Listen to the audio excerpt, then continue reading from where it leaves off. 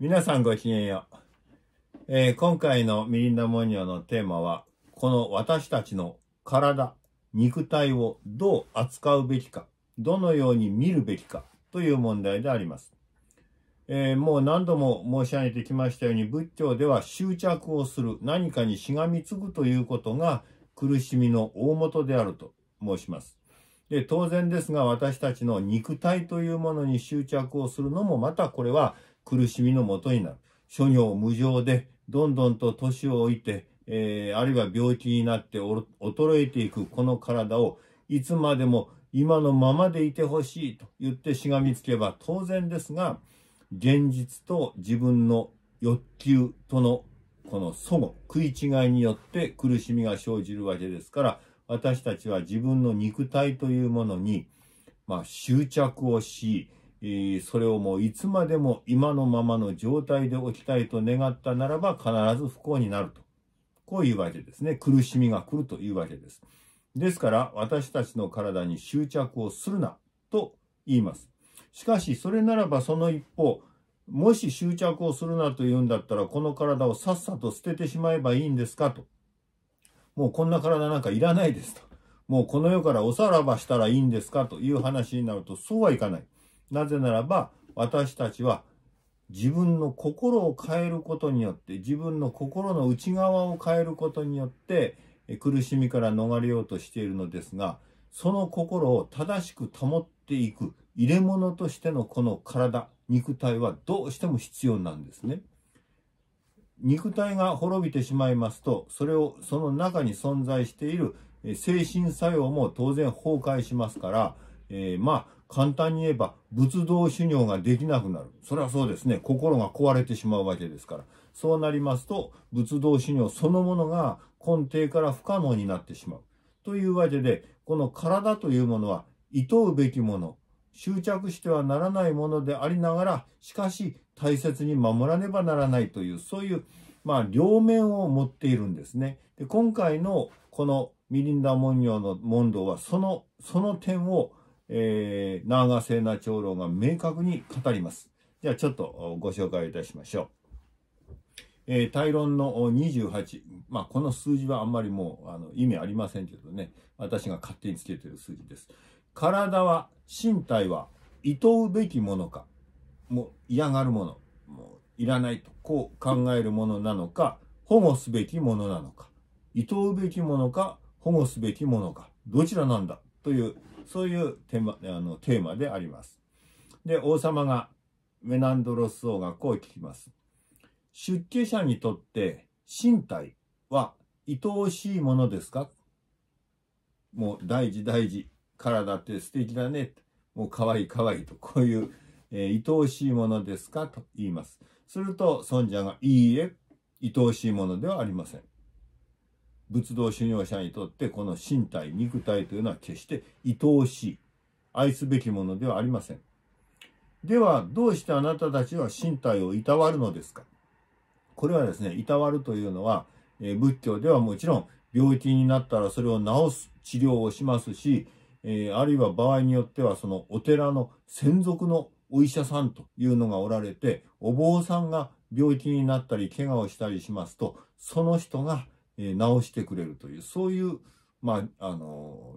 事例ですね。そういうものもあるわけで、えー仏教のお坊さんというのは自分の体を、まあ、痛めつけたり粗末にはしません。大事にします。健康を保つような様々な努力をするんですね。例えば、仏教では、あの、みあ皆さんご存知ですか？日本のお風呂ね、えーあの、お湯に浸かる、今のお風呂のあのスタイルの起源は仏教なんですね。もともと、インドで、お釈迦様が、僧侶たちが体を、まあ、損なわないように、健康を保つためにということで、サウナを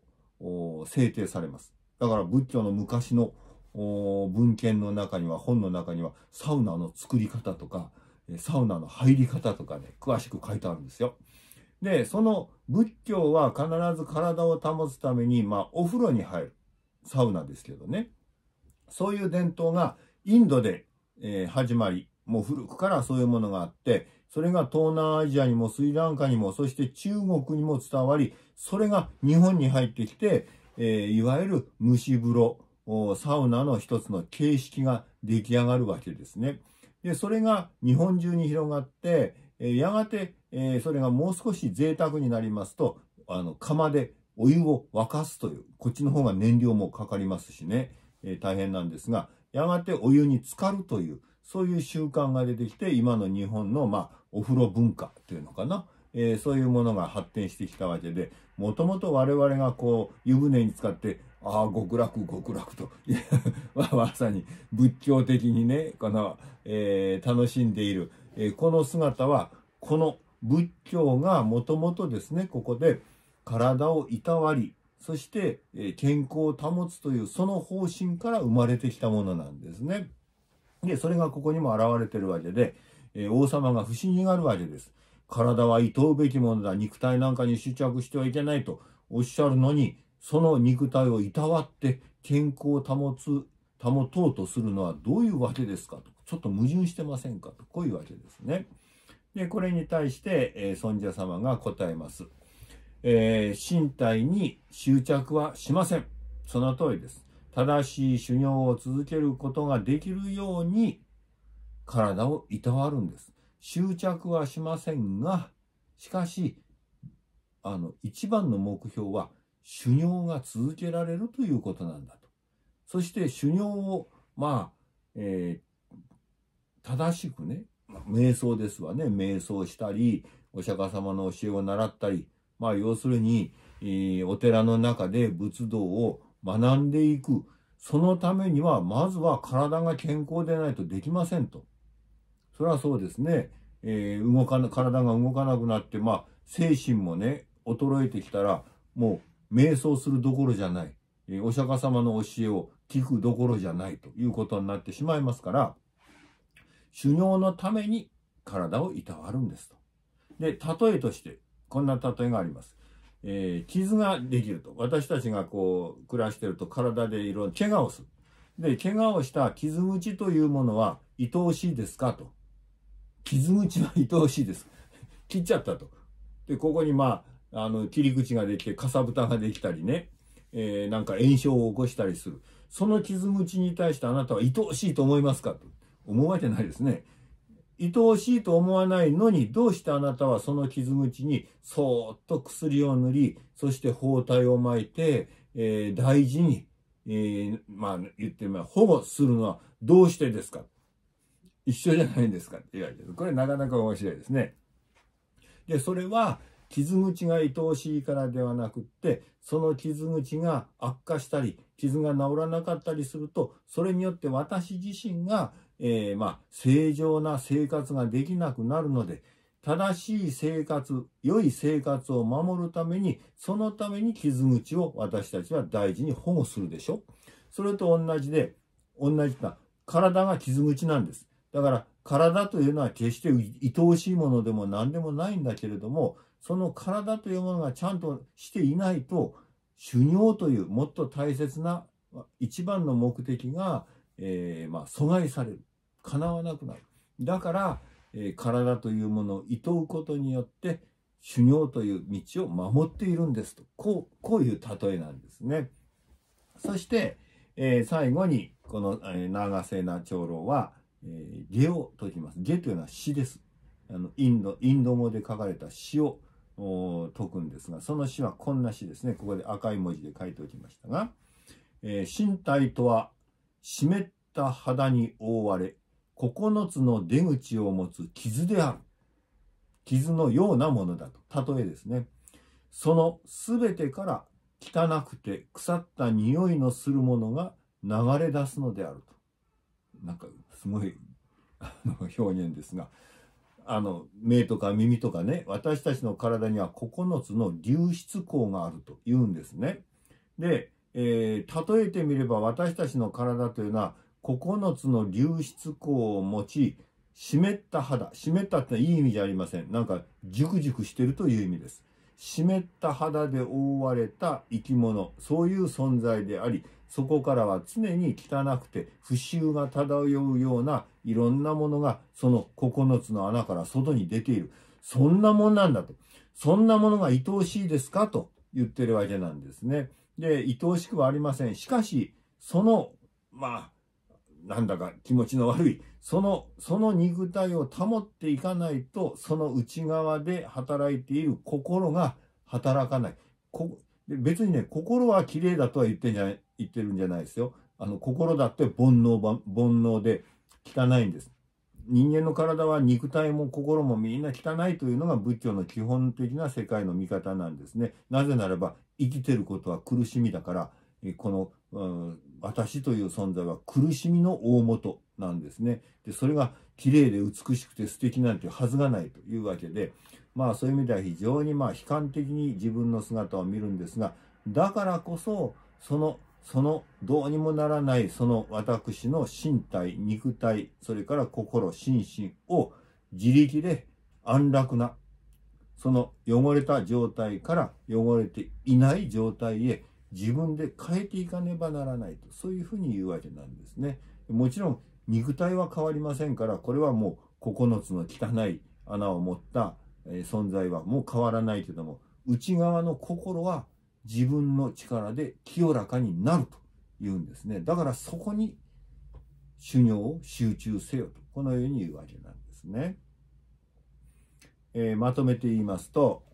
生き物は外界と